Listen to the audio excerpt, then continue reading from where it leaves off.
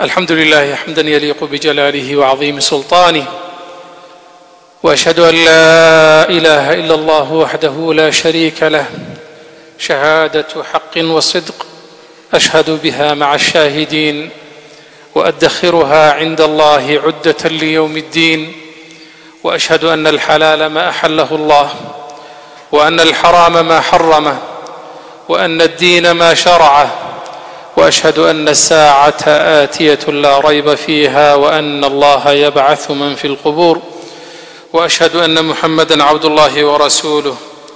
أرسله الله رحمة للعالمين فشرح به الصدور وأنار به العقول وفتح به اعينا عميا واذانا صما وقلوبا غلفا. صلى الله عليه وعلى آله الطيبين الطاهرين. وصحابته الغر الميامين وعلى من سار على نهجه واستنى بسنته وقتفى أثره إلى يوم الدين. اللهم علمنا ما ينفعنا وانفعنا بما علمتنا وزدنا علما وهدى. walaalayaal biidn illaahi jala wacalaa mowduuca darsigeennu uu ku saabsan yahay biidn illaahi tacaala wuxuu noqon doonaa mowduuca thiimka ama muxaadaradu ay ku saabsanayd oo ah alistiqaama. Bifadli illaahi jala wacalaa waxaynu soo dhammaynay siyaam ramadaan. Bacda siyaami ramadaan maada bacda ramadaan? Xaalkeennu see buu noqonayaa. Sidee baynu toosnaantii aynu bisha ramadaan ugu sugnayn ذنبيذا يوم عاصدا أين أقفقانيني الله سبحانه وتعالى طريقي سنة أن سنين سيدي بين سنة كإنتي سكالين أقتو سنان كرنا. لأن قفك مسلم كاهي لا يعبد رمضان بل يعبد رب رمضان. وحا أين عابدين الله بلها أردن له. منهن من dad cibaadaadkoodu ay ku kooban yihiin wakhtiga markaa mawsimka ah ee wax la samaynayo. Ee laakiin waxaynu nahay dad cibaadaysanaya baqiyat ashuhuur baqiyat alayaam baqiyat alcumr dad cibaadaysanaya oo allah subxaanahu wa tacaala ariiqiisa ku toosan baynu nahay. Ilaahay subxaanahu wa tacaala waxa uu tilmaamay آيات كي وشيخ أخرين يي إن الذين قالوا ربنا الله ثم استقاموا. دتك مؤمنين تأه. وحلقت المامي بعد الإيمان بالله جل وعلا. إلهي مركأ أي رميان وحل بعد إيه لقدون يا إن أويهي إن أي كتوس نادان طريق رب سبحانه وتعالى. إن أي أتكيستان حرق رب سبحانه وتعالى. lidalik baa abu bakrin asidiiq radia allahu canhu wa waxa uu odhan jiray istaqaamuu ficlan kama istaqaamuu qawla dadka mu'miniinta ahi waxay u toosnaadeen ficil ahaan iyo dhaqan ahaan bay u toosnaadeen sida ay qowl ahaanba u toosnaadeen marka aad tidhaahdid ashhadu an laa ilaaha ila allah waashhadu ana muxamadan rasuulu اllah ilaahay subxaanahu wa tacaala ariiqiisii inaad ku toosan tahay baa tilmaantay salaadaha shanta ah ee aad tukanaysid waxaad leedahay iyaaka nacbud wa iyaaka nastaciin ilaahayow adiga keliyaan ku caabudayaa adiga ayaan ku kaalmo weydiisanayaa intaas qowl ahaan marka aad u tidhaahdid ficilkaaga iyo dhaqankaaguna waa inay intaa waafaqaan oo aanay ka duwanaan cumar ibnu lkhaaabi radi allahu canhu wa ardaahba wuxuu odhan jiray isna marka uu aayaddaa tilmaamayo macnaha ay xambaarsan tahay dadka mu'miniinta ahi lam yaruuquu rawaqaani athacaalib haa sida ay dacwadu isu badbedesho marba dhinac u eegto u jalliicid badan tahay qofka mu'minkii uma jalliicid badna dariiqaasuu si toosa ugu socdaa waxaynu tilmaami doonnaa markaa maxaa inugu caawin karaa inaynu dariiqan ku taagnaano. Awalan waxaynu u baahannahay alisticaana biاllahi subxaanahu wa tacaala. Ilaahay inaynu kaalmo weydiisanno. Haddii aan ilaahay inoogu kaalmayn toosnaanta ma toosnaan karno. Rabbi subxaanahu wa tacaala ayaa awoodda oo dhani gacantiisa ku jirtaa. Nebigu sala allahu calayhi wasalam waxa uu odhan jiray yaa xayu yaa qayuum biraxmatika astagiif aslix lii sha'nii kullah walaa takilnii ilaa nafsii طarfata cayn waa duco aad u qiimo badan oo mudan in sujuudaha aynu ku celcelinno. Yaa xayu yaa qayuum allaha nool ee aan dhiman allaha heeganka ah ee maamulka dunida oo dhan mar kasta u taagan biraxmatika astagiif. Ilaahayow naxariistaada ayaan kugu gargaar weydiisa aslix lii sha'nii kullah ilaahayow arrimahayga oo dhan ii hagaaji. Haddii aad istidhaahdid ducayso ma soo koobi kartid baahida aad ilaahay subxaanahu wa tacaala u qabtid. Ducadani laakiin way soo koobtay aslix lii sha'nii kullah markaad tidhaahdid ilaahayow arrimahayga oo dhan kuwa adduunka ah kuwa aakhira ah noocay doonaanba ha noqdeene ilaahayow ii hagaaji. Maxaa ka dambeeya? Walaa takilnii ilaa nafsii طarfata cayn. Ilaahayow naftayda ha igu hallayn ilbidhiqsi in la egna ha noqotee ishu inta la isku qabto oo la kala qaadana ha noqotee ilaahayow aniga naftayda ha igu hallayne arrimahayga adigu maamul. Lidalik baa isticaanada iyo ku toosnaanta diinta waxaynu u baahannahay inaynu u kaashanno ilaahay subxaanahu wa tacaala inaynu u kaashanno oo aynan mar kastaba ka maarmi karayn aaniyan waxaynu u baahannahay almujaahada. Naftu dadaalid bay u baahan tahay. In lala dadaalo ayay u baahan tahay qofku haddii uu meel fadhiyo oo uu doonayo geed inuu fuulo in la qaado oo geedka la saaraa way adag tahay. Laakiin qofka sii fuulaya in xoogaa la yar riixaa way sahlan tahay. Qofku ariiqa istiqaamada marka uu doonayo ku dadaalayo naftiisa ku dhibayo ilaahayna uu kaalmo weydiisanayo ilaahay wuu caawinayaa rabbi subxaanahu wa tacaala waxa uu yidhi wاladiina jaahaduu fiina lanahdiyannahum subulana kuwa ku jihaada nafta ee ariiqayaga ariiqaa ku toosnaantiisa kuwa ku dadaala oo ku dadaala ilaahay subxaanahu wa tacaala wuxuu u ballan qaaday in uu ku hanuunin doono ariiqa inuu ku hanuunin doono ilaahay subxaanahu wa tacaalana dadka muxsiniinta ah macooda uu yahay muxsinka maxaa la yidhaahdaa? Muxsinka waxaa la yidhaahdaa qofka marka uu cibaadaysanayo marka uu ilaahay u dhowaanayo hadduu dad la joogo iyo haddii aanu la joogin ay isku mid u tahay. Qofka ilaahay u caabuda sida ilaahay inuu hortaagan yahay oo uu arkayo sababtoo ah haddii aanad adigu ilaahay arkayn allah jala jalaaluhu wuu ku arkayaa ilaahay subxaanahu wa tacaala waxa uu tilmaamay ambiyadii rabbi subxaanahu wa tacaala tilmaan ay lahaayeen. Waxa uu rabbi subxaanahu wa tacaala yidhi wajacalnaa minhum a'immatan yahduuna biamrina lama sabaruu.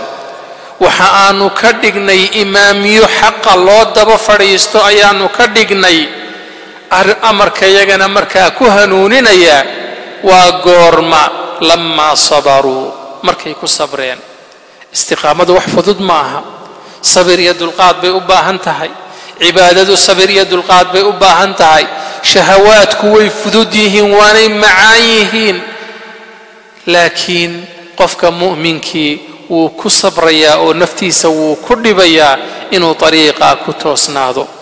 Alimaam axmed ibni xambal ayaa waxaa la weydiiyey mataa yajidu alcabdu طacma araaxa addoonku goormo ayuu heli doonaa dhadhanka raaxada iyo nasashada goormo ayuu heli doonaa.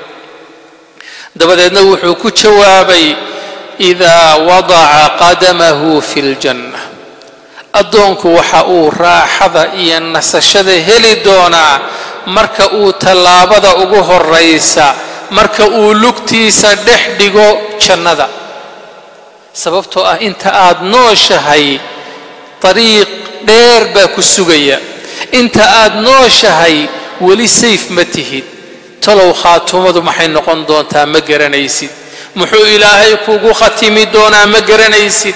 Camalkan aad samaynaysid ma maqbuul baa ilaahay agtiisa mise ma aha ma garanaysid. Lidaalik baa waxaad u baahan tahay oo waxaynu u baahannahay dhammaanteen in aynaan nasan oo guntiga markaa adkaysanno inta aynu dunidan saarannahay cibaadadana sidaa u wadno. Imaamu shaafici calayhi raxmat ullah ayaa waxa uu odhan jiray qof dadnimo lehi ma dhadhamiyo dhadhanka nasashada adduunkan kuma dhadhamiyo ilaa uu ilaahay la kulmo. Maxaa dadkan ka horreeyey? Waxa ay og yihiin waxa ka horreeya waxay og yihiin naarta la sheegay. Waxay og yihiin cadaabta la sheegay. Waxay og yihiin addoommuhu inay fitno u bandhigan yihiin. Waxay og yihiin cidda ilaahay subxaanahu wa tacaala uu badbaadiyaa inay nasiib badan tahay. Lidalik baa cumar ibn alkhataabi radia allahu canhu wa ardaah. Ayaa maalin la arkay isaga oo meel guri markaa dunduunsan sii gelaya. Dabadeedna waxa uu leeyahay bakhin bakhin ya amiira almu'miniin kunta cumayran faasbaxta amiira almu'miniin wallahi la tattaqiyana allaha ya cumar aw layucadibanaka allah cumarow maxaad ahaan jirtay addoon yar baad ahaan jirtay ilaahay amiiru lmu'miniin buu kaa dhigay cumarow walle ilaahay baad ka cabsan ama ilaahay wuu ku cadaabi cumaroo sidaa leh wuxuu ahaa qof loogu bushaareeyey inuu jannada geli doono isaga oo innagu bushaaradaa ma haysanno. Innagu abaalmarintaa la inooguma yaboohin. Innagu nebi moxamed sala allahu calayhi wasalam dagaaladii uu galay lamaynaan gelin cibaadooyinkuu sameeyey lamaynaan samayn ajarkii iyo wanaaggii saaxiibtinimada rasuulka maynaan helin. Arrinta saddexaad ee walaalayaal loo baahan yahay ee inugu caawinaysaa waxa weeye in lala saaxiibo dadka wanaagsan dadka wanaagsani mar kasta waxa ay kuu jiidaan khayrka. Nebigu sal ly slam waxa uu yidhi almar'u calaa diini khaliilih falyandur axadukum man yukhaalil. Qof kastaa waxa uu la dhaqan yahay ereyga diin luqada carabiga dhaqan baa lagu yidhaahdaa. Sidaa awgeed baa diinteennu aanay diin afka laga sheegta ahayn ee diin dhaqan iyo markaa qofku inuu baraktis gareeyo loo baahan yahay ay tahay waxa uu nebigu sal ly slam yidhi qofku waxa uu la dhaqan yahay cidda uu saaxiib iyo sokeeye ka dhigto qofkiin ha eego cidda uu markaa saaxiib ka dhiganayo. Bal saaxiibka wanaagsani marka gaabis kugu dhaco naftaadu cibaadadii ka gaabiso gacantuu ku qabanayaa inakeen subci samayne inakeen salaatuleyl tukanne inakeen cibaadaysanne wanaagoo dhan buu markaa kuu jiidayaa saaxiibka xunina xumaantuunbuu kuu jiidayaa waxaa ka mida waxyaabaha inugu caawin kara haddaba wasaa'isha lagu xaqiijin karo in qofku uu markaa ilaahay subxaanahu wa tacaala ariiqiisii ku toosan yahay waxaa kow ka ah qofku qur'aanka inuu la saaxiibo ilaahay subxaanahu wa tacaala kitaabkan ayuu inoo soo dejiyey. Kitaabkan nolosheenna oo dhan waxaynu u baahannahay baa ku jira. Bal tusaale yar baan idin siinayaa. Tv-ga iga dambeeya. Kambani baa soo sameeyey. Markii uu kambanigaasi soo sameeyey buug yar oo gaidansi ah qofku siduu u isticmaalayo ayuu soo raaciyey. Ka warran haddii aynu nidhaahno buuggaa uma baahnin tv-ga biyaynu ku shubi karnaa ee dhulkaynu ku dhufan karnaa haddaynu nidhaahno ma ka faa'iidaysan karnaa? Maya allihii ina abuuray ee dunidan ina keenay waxa uu ina siiyey kitaabka. Nolosheenna oo dhan badhaadhaha aynu u baahannahay iyo aakhiradeennu waxay ku badbaadaysaba kitaabkaasuu ku jiraa. Lidalik ba allah subxaanahu wa tacaala waxa uu yidhi ina hada alqur'an yahdii lilatii hiya aqwam qur'aankani waxa uu ku hanuuniyaa dadka waddadii toosnayd tii wanaagsanayd ayuu ku hanuuniyaa waxaynu u baahannahay markaa qur'aanka in lala saaxiibo akhriskiisa tafsiirkiisa ku dhaqankiisa intaba in lala saaxiibo marka ilaahay subxaanahu wa qowlkiisa laguu sheego rabbi baa sidaa yidhi la yidhaahdo aad tidhaahdid samicnaa wa atacnaa ilaahayow waanu ku maqallay ilaahayow waanu ku adeecnay marka lagu yidhaahdo ilaahay baa sidaa yidhi aanad marnaba hadalka keenin rabbi subxaanahu wa tacaala waxa uu tilmaamay inama kana qowla almu'miniin ida ducuu ila allahi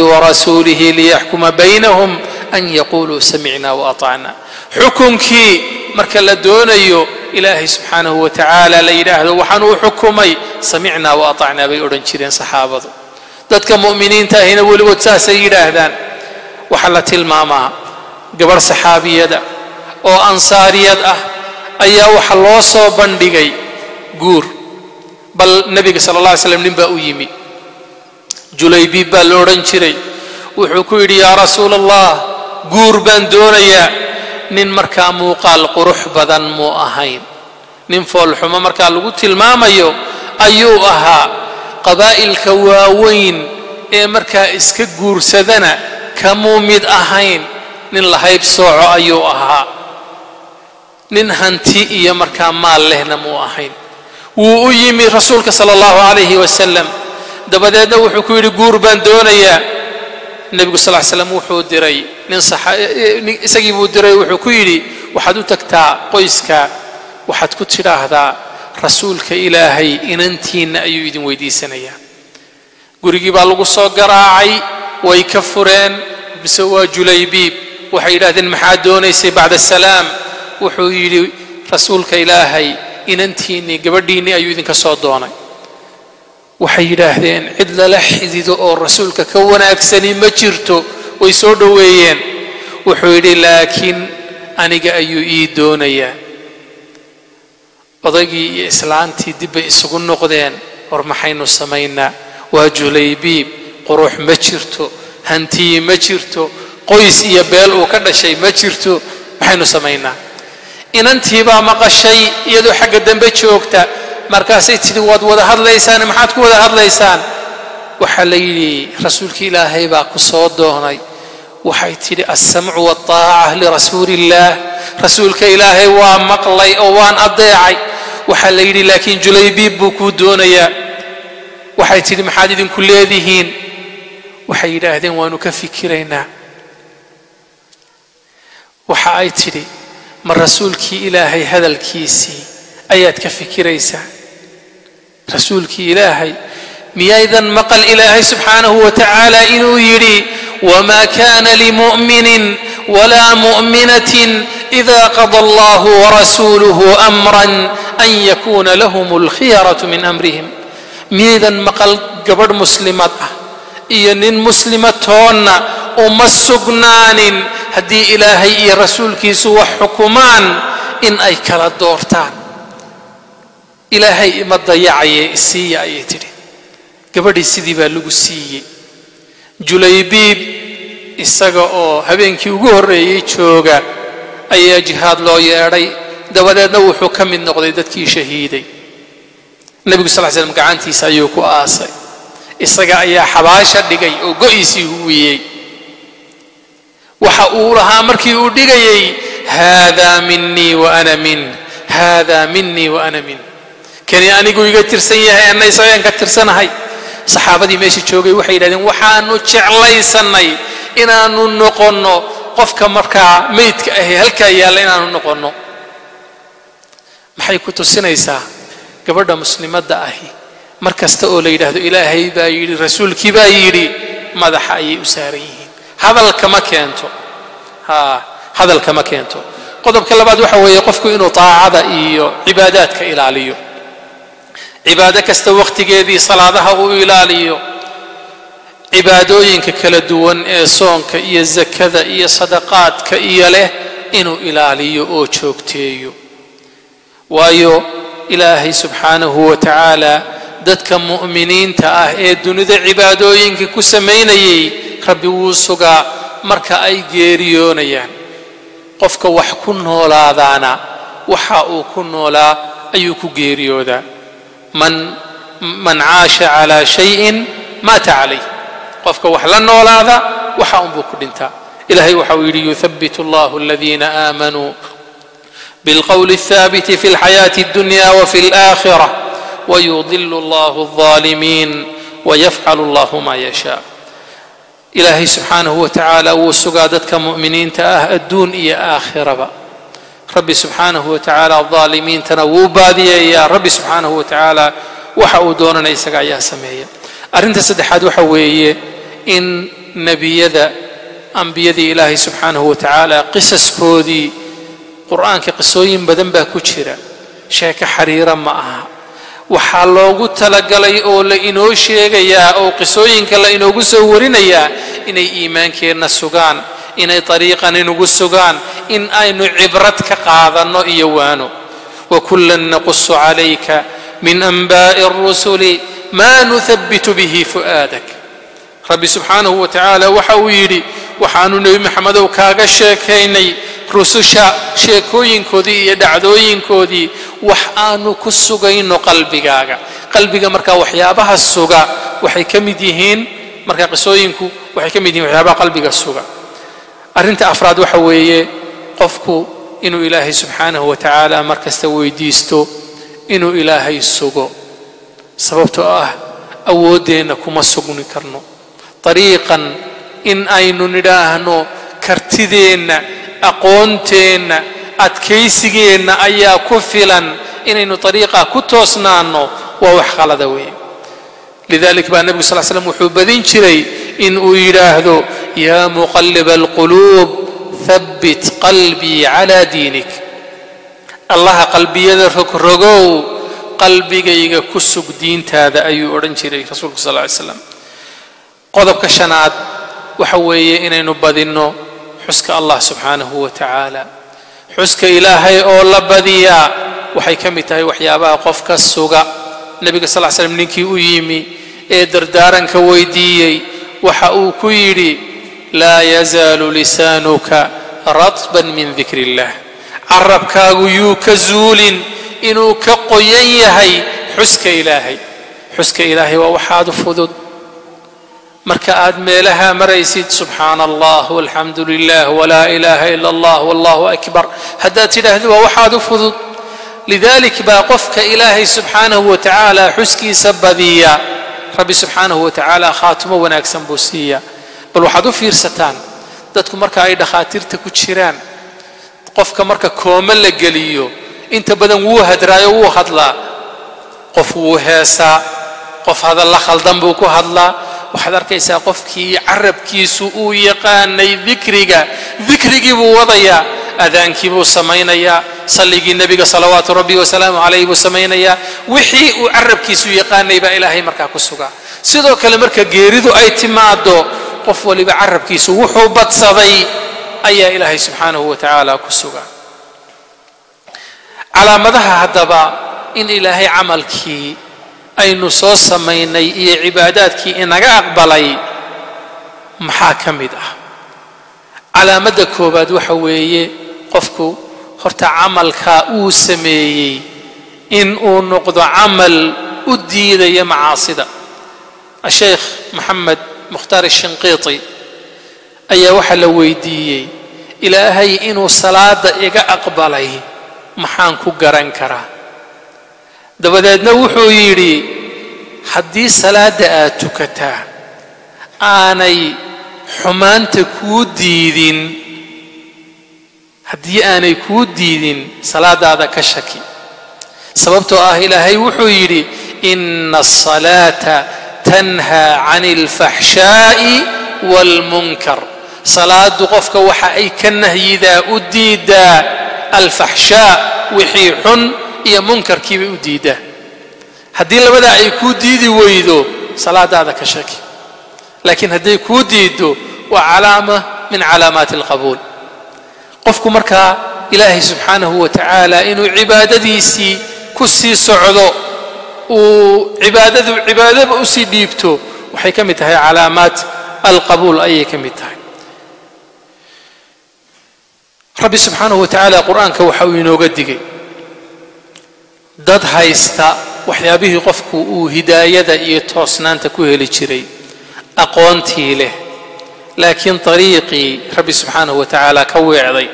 Nin la odhan jiray bilcaam bin baacuura oo ka mid ahaa culimmadii waaweyneed ee reer bani israa'iil ayaa ilaahay qur'aanka ku tilmaamay.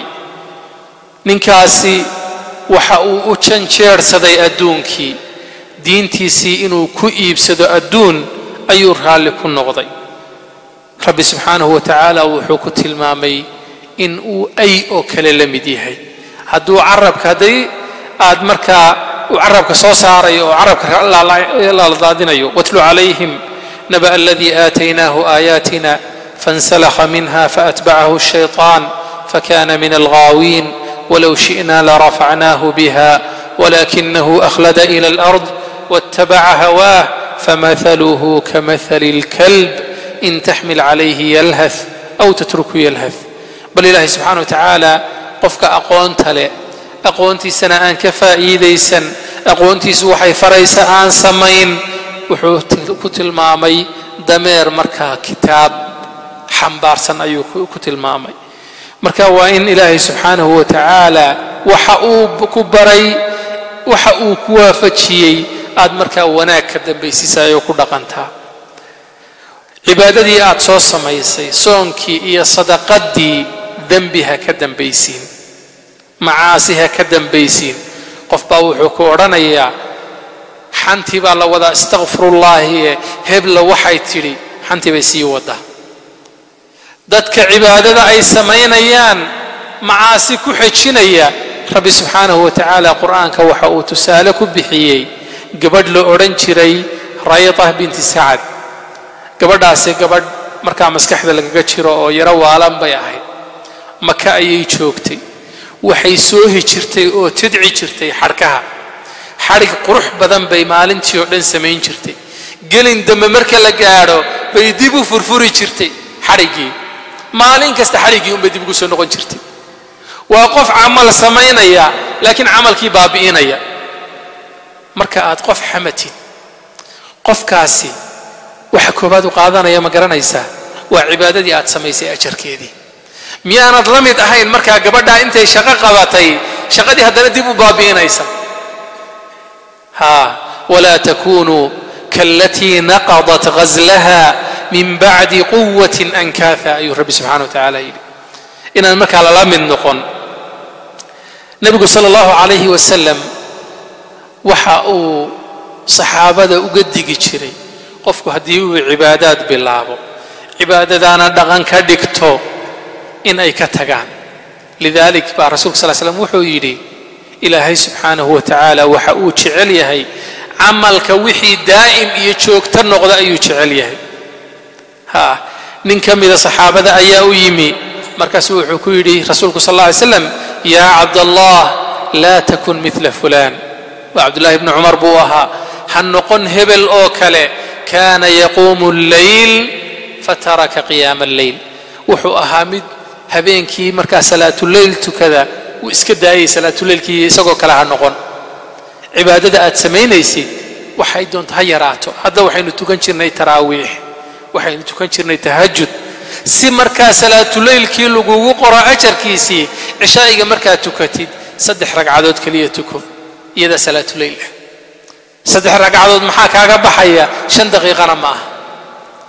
Ha ramadaantii sadaqaad la bixi jirtay waxaad samayn kartaa hal doolar maalintii haddii aad bixisid. Sanadkii saddex boqol iyo shan iyo lixdan doolar baad bixisay oo sadaqa ah. So wax weyn maaha. Waa wax weyn. Waad samayn kartaa application masaajid inaad tidhaahdid maalin kasta hal doolar iga goosta. Maalin kasta ilaahay muxuu kuu qorayaa. Aroortii rasuulku sal slm wuxuu tilmaamay laba malag baa kaca. Waxay yidhaahdaan allaahumma acطi munfiqan khalafa إلهيو قفكي وحبحيي وحونا يكسن أقبدل اللهم أعطي ممسكا تلفا. إلهي وقفك حيستي وأن وحب بحنا وحن الآن قبدل سو دعوين ما؟ وهبار كدن بها دعاء إنا تشيت هل دولار كبير؟ ما حيكو قطع ها. عبادات كلا تسمين شرتي مركا عبادة وينكي شوك تيوي رسولك صلى الله عليه وسلم عائشة وحيت المانتي عمل كيسو كان عمله ديمة. شوكتين بوها رسولك صلى الله عليه وسلم عمل كيسة.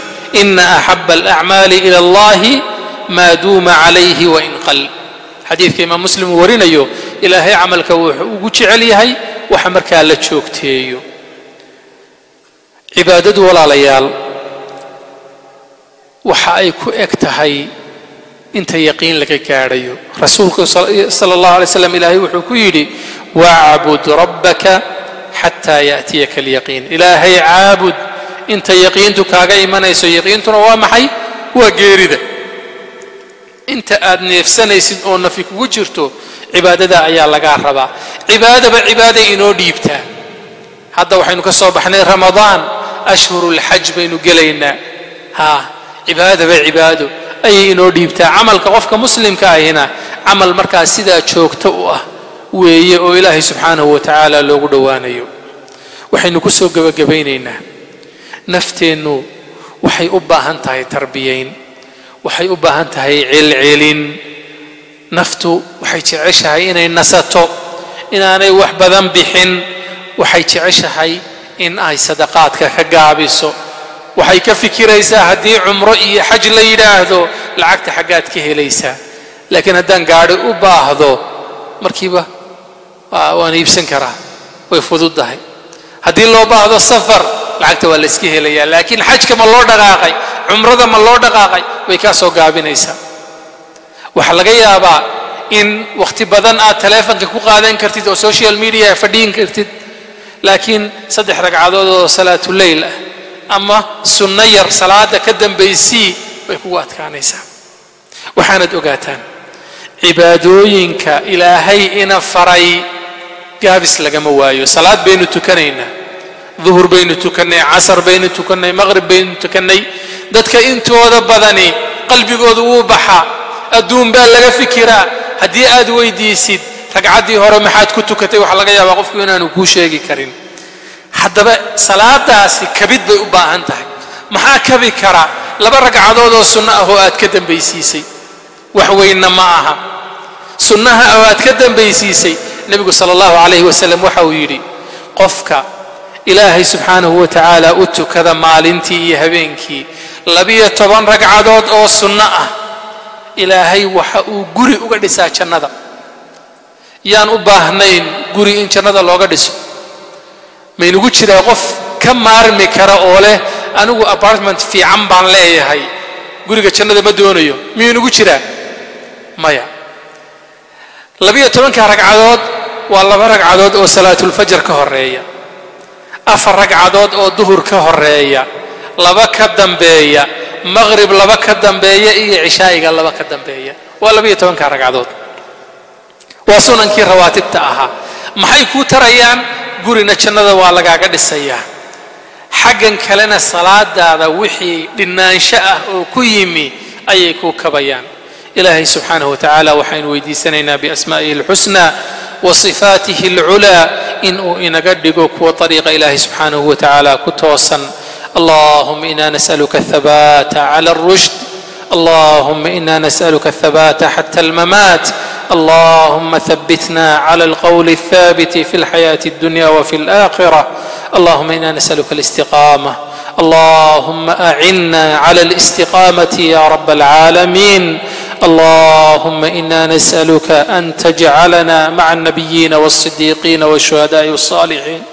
اللهم احشرنا مع النبيين والصديقين والشهداء والصالحين. وحسن أولئك رفيقا. وصل اللهم وسلم على سيدنا محمد وعلى آله وصحبه أجمعين. إن شاء الله كلمة حكتا دردارنكي شيخنا الشيخ محمد. جزاه الله خيرا. أي نقندونتا فليتفضل مشكورا ماجورا.